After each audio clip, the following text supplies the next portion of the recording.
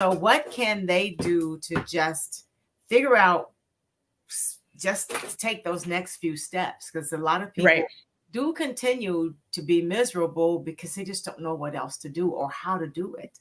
Yeah, I love that question because I, I do a lot of work around that. You don't have to know what it is yet. You just need to know that this ain't it. like this is no longer it.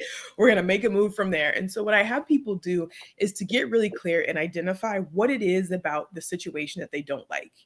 Is it that you don't like your commute to the job? Is it that you don't like your supervisor? Do you not like the work? Do you not like the hours? We can start with what it is that is actually causing you agitation and ask questions around what would make this better? What would it look like to show up to work and to not be irritated by the time you get there? What would it look like to show up to a house where you didn't have to immediately jump in and deal with the kids or the housework, right? So you start with what is bothering you because that's sometimes easier to know what you know.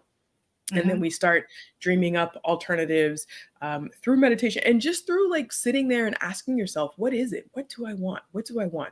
If I could answer this question, if I knew what I wanted, if I could answer this question without any restrictions, if somebody wouldn't tell me no, what do I want? And it may not come right away because again, how often do we ask ourselves what we want? Not very often. So we can we can take as long as it takes for it to come up and know that what you want right now may not be what you want in 5 years or 5 months and that's okay.